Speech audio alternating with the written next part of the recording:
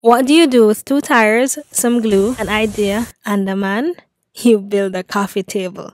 yeah, that's right. So I'm in the process of decorating my apartment and the living room would not be complete without a coffee table. Of course, I had the option of buying one, but making one from scratch sounded way more fun. So I dragged my husband along and we got to work. This was relatively simple but very time consuming. Lots of wrapping over and over, but with the end game in mind, we just kept going. This is intended to serve two purposes. One is to act as a coffee table and two is to store things in the living room that we just don't don't want to be visible. So the bottom of the table is completely sealed. I'm not quite done with the project as yet as I'll be padding the inside so it looks a little more aesthetically pleasing but so far it's fully functional and it's given what I needed to give. Comment below and let me know your thoughts. Also, if you'd like me to make any of the items that I showcase on my page for you, feel free to send me a DM. I'm open to selling.